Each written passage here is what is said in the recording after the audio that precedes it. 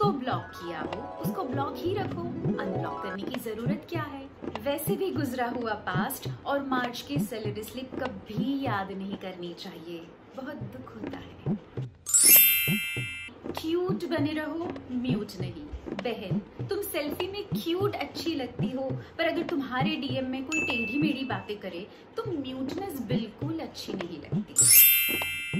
कभी भी अपनी औकात से बाहर मत जाओ।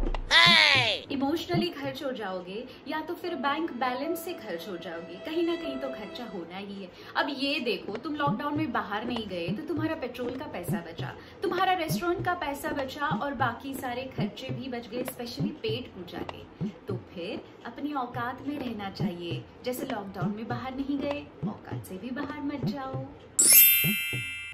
Don't force things just let it flow जो जैसा है वैसा ही उसको रहने दो। थ्री इडियट्स में रेंचो के पापा ने भी यही कहा था ना?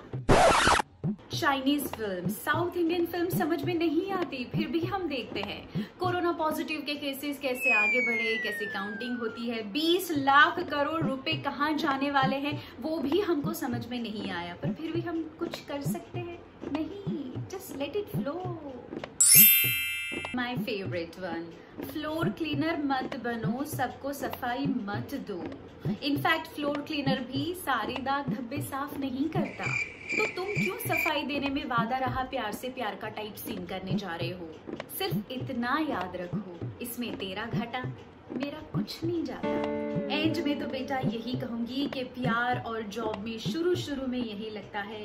प्यार हुआ, अप्रेजल हुआ, उसके बाद आई कांट लीव यू वाला और सैलरी नहीं बढ़ेगी वाला मज़ाक हुआ। So to stop the train pull the chain use dipper at night and wait for the side अहम ब्रह्म्यस्ति